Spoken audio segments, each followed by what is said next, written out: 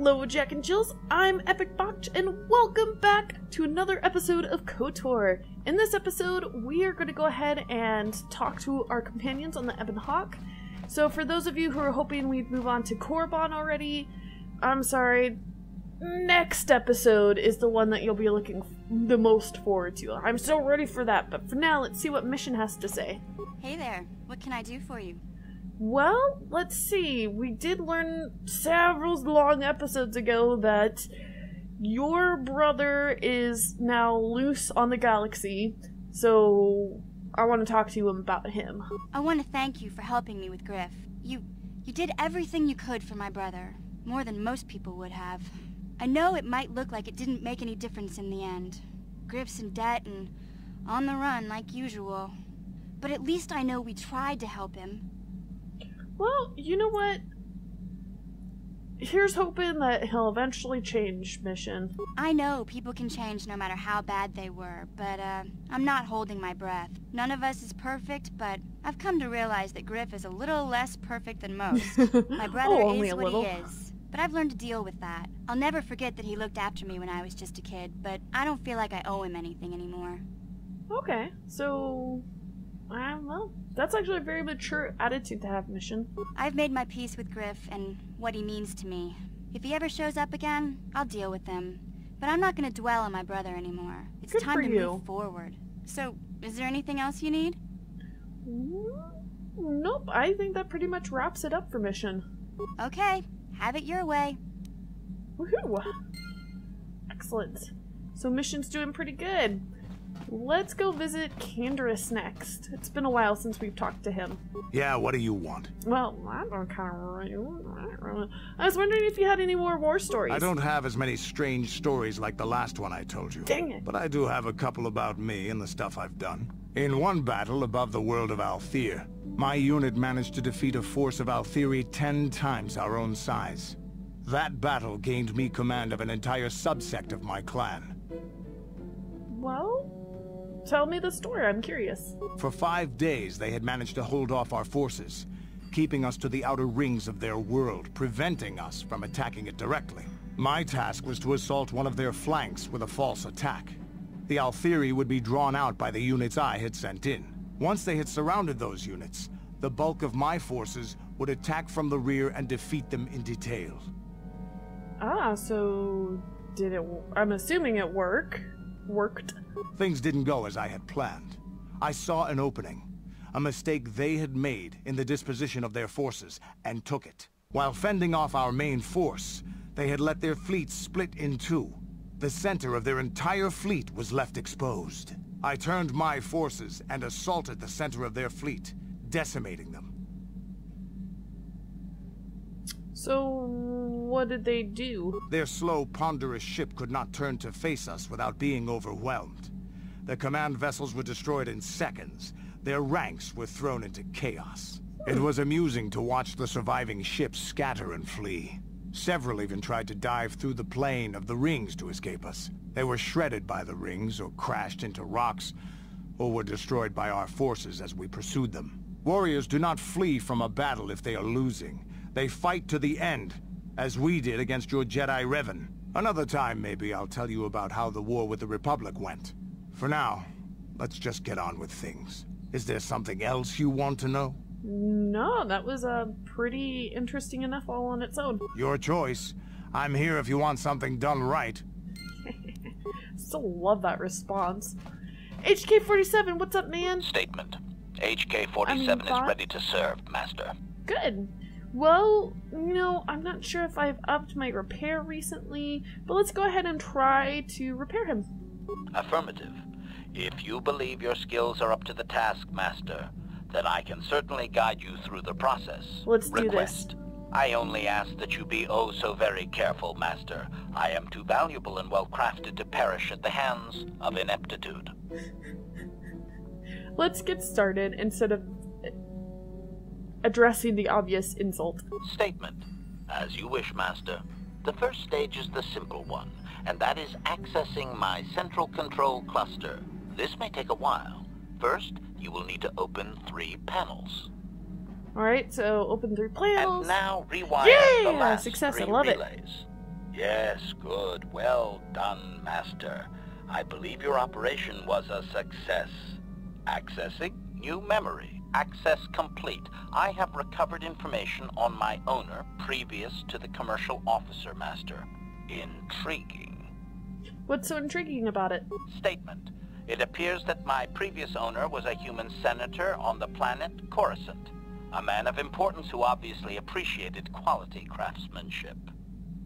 And how did he get a hold of you? Answer. I am unsure, Master. Any knowledge of my owner prior to him is still deleted. The Senator did assume I was a protocol droid, however. I do remember that I was very pleased to be the property of a Senator. One of his assistants discovered my assassination functions later through questioning. The assistant was quite alarmed and told the Senator I should be scrapped quickly to avoid a scandal. Naturally, the Senator had me eliminate the fool. so, we're not really talking about nice senator, I see. Observation. Senators are not nice, Master. They are either on top of the game or yesterday's news. My master told me that frequently, you see. I was most kind of proud a to have partaken in the political system of the galaxy. During the time my owner possessed me, he gained significant rank. Given time, I believe he could have become Chancellor. I even eliminated a few key opponents that he did not ask for. Freebies, if you will. Freebies? I mean, does that mean that you charge them per kill? So you can just do that. Answer. Certainly. Why not? I am an intelligent droid, you know. I see an opportunity, and I take it. And my master was most pleased with my work. Observation. I think he would have done far better had he not allowed his use of me to become personal. Oh he set me on no. his wife. And why would he do something like that? Answer. I am unsure. The human was most agitated and angry. I believe his wife had done something that had displeased him greatly. I was to go to their summer estate and terminate his wife, along with whatever male companion I discovered there. Haha, so he was she was cheating on him. Statement. I have no idea, Master. Cheating seems to be a relevant term only when one is caught in the act. Otherwise, it is viewed as intelligence. No? I journeyed to the southern continent, but it appeared my master was not far behind me. Apparently, he regretted his activation of the protocol. When I found the wife and her companion, I proceeded to launch my attack, but my master interposed his own body and was destroyed. It was rather a strange meatbag thing to do, do you not agree? Naturally, I shut myself down, my master being terminated. That is a very intellectual way to look at that whole situation, and I kinda love it. So that's two out of two masters you have killed. Awesome. Observation. Only so far, Master. there are still more memories not recovered, remember? Yeah, yeah, so what happens then? Statement. I believe the Senator's wife was unsure what I was or what to do with me. It was she who sold me to the corporate officer, an acquaintance. Gotcha. Um, any other memories? Answer. As previously, I have found a few more programs which will enhance my performance. A most gratifying discovery, in fact. There is still nothing from previous memories uncovered. You will have to operate again if you desire to find them. With luck, I will discover the stimulus to unlock my core, and all this will be unnecessary. I do thank you for the attempt, however, Master.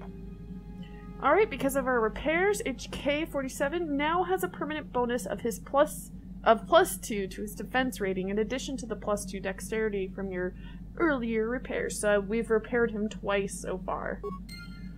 Okay, I honestly don't know how many more times we need to repair him in order to get to the main quote unquote functions, but it can't really be too much more. Alright, I am so sorry, Jolee. the last time I talked to all of the members of the Ebon Hawk, I decided for some reason that he wasn't important, even though he was brand new. So let's remedy that and talk to him now. Got something on your mind? Well, why? On. Well, my goodness. So many good options. Let's focus on this Manaan first and ask him about Sunry's verdict. What does he think about that? Innocent. I don't know what to make of it, to tell the truth. Do you think justice has been done? No, not really. I mean, he probably really. No, I already said that he did it, so no, not really. But that has little to do with the law, doesn't it? A sad state of affairs, that. Too bad, really. Sunry was a good man once. Ah, I don't want to talk about this anymore. My jaw aches. Well, that was short. Let's try, let's try that again. mind, so why'd you decide to come with me? You got yourself a fast little ship? I'd forgotten what engine sounded like. The closest thing to that on Kashyyyk is an Uller in mating season. Ugh, frightful. Ooh. So you just wanted a ride? Or it could be for the free food. What's the gunk that comes out of the synthesizer on this bucket anyway? Do you never clean the darn thing? Well,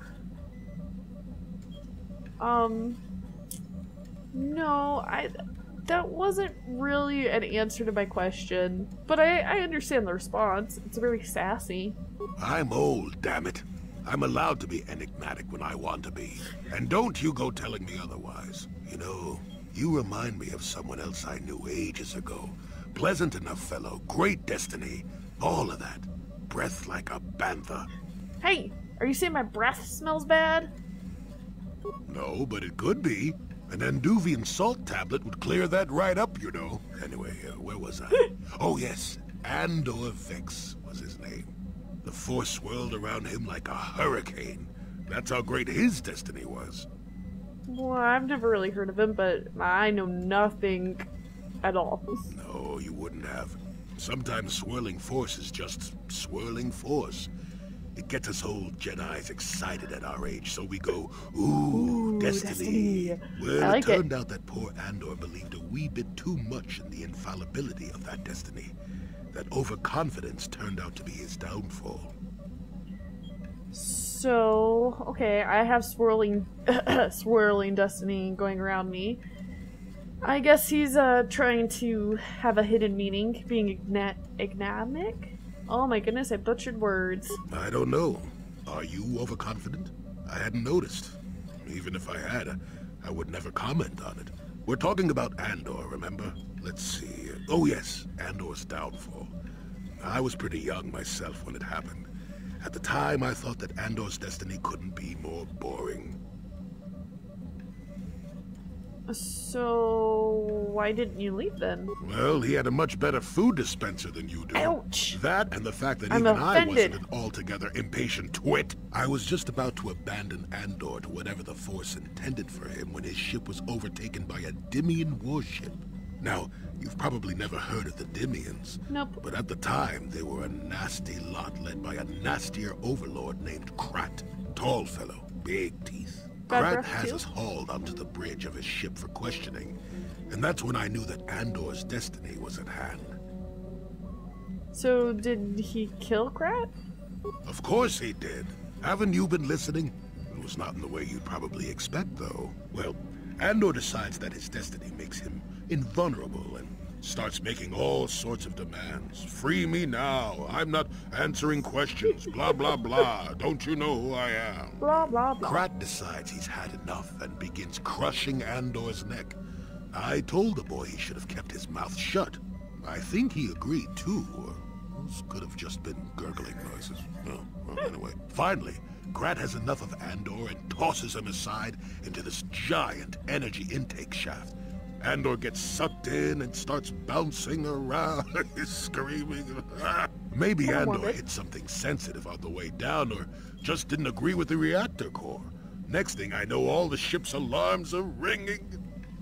You've got to be. Oh my goodness, this is a great story. Keep going. Everyone panics, and I run, barely making it to the ship in time before the explosion.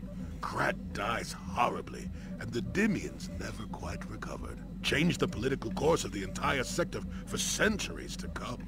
I'd call that quite a destiny, wouldn't you? I love how one of the options is I hate you, old man. Are you kidding me? This is the best stories. He has lots of fun. Um, well, let's see. But how can you even be sure he was responsible? What? Are you kidding? What are the odds of that happening anyway? A billion to one? You should do so well as to be sucked into the engine of some evil Sith Lord, you know. Andor was a hero. Sort of. Anyway, go on. My throat is dry and you're making me cranky. Shoo! yes, that could be our great big fate for the end of the game is to be sucked into part of the engine and destroy Malak that way. Wouldn't that be awesome? Not really. It'd be quite a lame story. yes. What is it? Let's see. I'm sure there's something wrong. Go ahead and just tell me, Juhani. I was remembering Taris. Okay. I'm sorry, Juhani. No, it's all right. Oh, good. I think I'm over the worst of it. I apologize again for lashing out at you. It was not your fault. It was. I'm glad you came to your senses. A horrible place to have to live. At least in the lower cities where the non-humans tended to get relegated. Living for years in a place with no sun, living off the trash dropped from the upper levels, and the meager pay doing back-breaking labor. And, well, I mean, you can't and the rakghouls, those rakghouls. There was always the danger of rakghouls coming up from the sewers, or more mundane predators living and working in the area. My family and I struggled each and every day to make something of our lives. But we could only go so far. Taxes from the corrupt government, more fees from the gangs controlling the streets, and whatever was left paying for what food and medical supplies we could afford. Well, was it really that bad? With no money to spare for any amenities, even the Enclave on Dantooine seems a paradise in comparison. And of course, there was the constant bigotry and hate from the more affluent and human citizens, lording their wealth over us living below. Every once in a while, a rich human would come down through the lower levels with his droid entourage just to see how the wildlife lived and laughed at the mockeries that were our successes. But cool. I have come to meet many decent humans in my travels since those days. Indeed, some of the greatest people I have ever met are human. Oh. That's good to know. Like who? The Jedi who encouraged me to join the Order. The one who was with the group going to fight the Mandalorians. She was human. I... I, I suppose I see something of her in you when I look... I am sorry. I am getting away from my point. If there even was one. Sometimes, I curse the day my parents fled to Taris. But then again, if they had not, I would not be where I am today. Quite funny when you think about it. Little choices in our life drastically determine how our life is going to be. So, uh, where are your parents? Another story for another time. For now, we must continue our own epic to save the galaxy, if we can. Alright. Well, it's kind of interesting knowing Juhani's background a little bit more, but for now, let's go ahead and check in on Bastila. How can I help? Let's see, last time we talked about, I think, her mom and her dad. Let's see what else she has to talk to us about. I do. I've been watching you, studying you closely to see what kind of progress you've made since your training at the hands of Master Zhar. And what, you've been grading me? I've seen how you've resisted many temptations and continued to walk the path of the light side. Very commendable. But I'm afraid you might stray from this path. You need to see what the dark side represents in its entirety. For it is what we battle. Only the wisdom of a Jedi Master can truly explain this. But I will do my best to make you understand. And so, what are you trying to tell me? The dark side is not simply giving in to anger, temptation, or to use the force to destructive ends. These things only lead to the dark side. The dark side grows stronger and more insidious the closer you draw to it. It begs you to surrender to it, to release all its terrible power, and it becomes harder and harder to resist. And once you stop resisting, it's too late. It twists you up inside and turns you into a mockery of everything you once stood for. Well, I mean, honestly, you kind of are seem to be talking from personal experience here. I am no less resistant to temptation than any other. I simply have the benefit of training that you do not. But even the training of the Jedi might not be enough to save us. We need only to look at the atrocities which have been committed by those under its sway to understand the terrible corrupting evil of the dark side. Millions dead, and far more suffering. What sort of person would you have to become to perform such deeds gladly? Hmm. Well.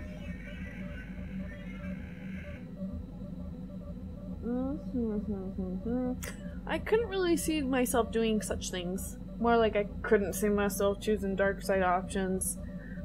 That is why the dark side is so insidious. If you are not careful, you do not even see each small step you take towards it until it's too late. It's so easy to think that we would never fall prey to such a horror, that we have unlimited control, vigilance, and foresight. If only that were true. The Sith have become powerful because there are many Jedi who've succumbed to the lure of the dark side and joined their cause. What greater weapon is there than to turn an enemy to your cause? To use their own knowledge against them? We are weakened while they are strengthened, so we must harden our hearts and do whatever is required to fight against the dark side. I think I get the even picture when of the battle becomes wearying. Okay. Yeah, sorry, like, I'm starting to get bored from her talking about fighting temptation and blah blah blah blah blah. Uh, so must we keep discussing this? No, I suppose not. I've spoken more than enough of the dark side. It is up to you whether you heed my words or not. But words alone cannot save one from the dark side. Come, we should continue with the task at hand. When the time comes, I only hope we are all strong enough to do what we must. Alright. And saving my favorite for last, let's see what Carth has to say this time around. What do you need? Do you want to talk? Talk about what? The only thing I want to do right now is find Dustil. If he's alive, th- there's just nothing else I want to think about. I'll understand if we can't look for him right now, but if we could, it would be a huge load off my mind. Okay. I'm luckily for you in the next episode. That is what we're gonna be doing. We'll start, hopefully, start Dustil's or Carth's side quest and checking out what there is on Korriban. So thank you, Jack and Jills, for joining me today, and I hope you all have a wonderful, fantastic, awesome, amazing, fabulous rest of your day. Bye.